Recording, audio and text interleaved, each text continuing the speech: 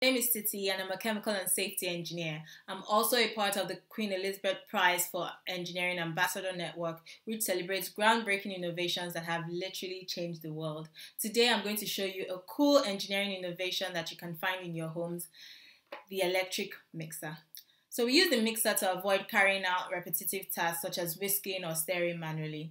The mixer contains parts such as a, an electric motor in the housing, we've got two beaters, and you've also got a switch. We also have a cooling fan that extracts air from the surroundings and blows onto the hot motor to avoid overheating.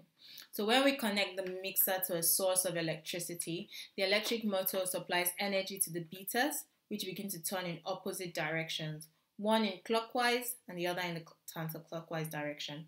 When the beaters are inserted into a bowl that contains ingredients of different textures, these are drawn in through the beaters, encouraging interaction between different ingredients to form a single mixture.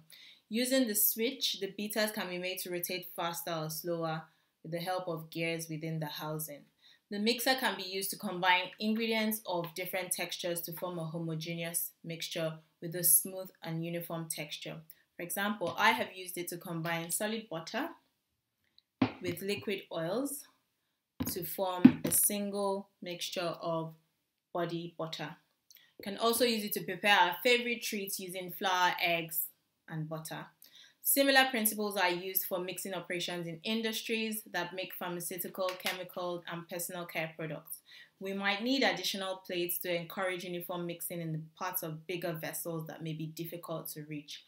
That's the engineering behind the mixer in a nutshell. Help us to celebrate engineering by sharing a photo or video of an innovation that inspires you. Don't forget to use the hashtag engineering inspirations.